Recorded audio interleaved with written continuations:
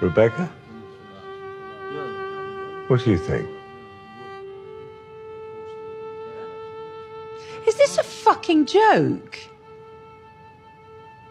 Excuse me?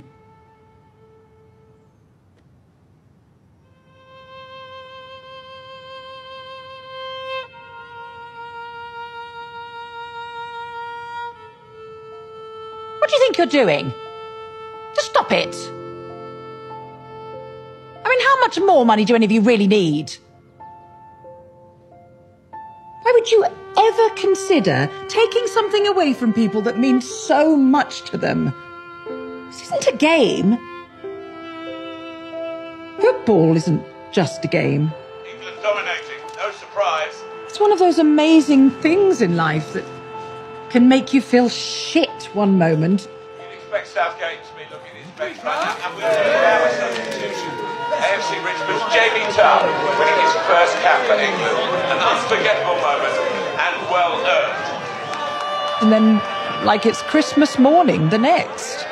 Tartt wearing 24, the nod to his Richmond teammate, the spectacular Samuel Obisanya. It has the ability to make heroes and villains out of ordinary men.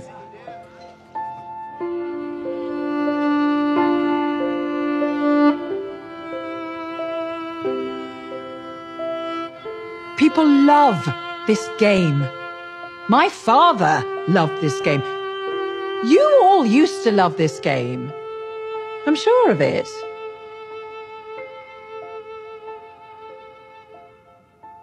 I knew this little boy, working class, from Richmond. He loved football so much. He used to sneak into the matches because his family just couldn't afford the tickets.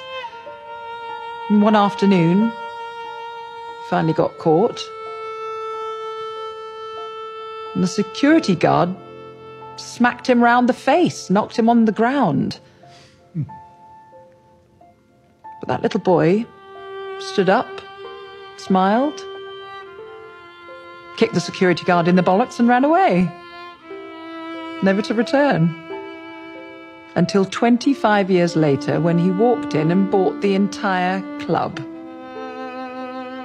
And on his first day as owner, he went and found that same security guard and gave him a pay rise without any explanation. Just because we own these teams doesn't mean they belong to us. And I don't want to be part of something that could possibly destroy this beautiful game.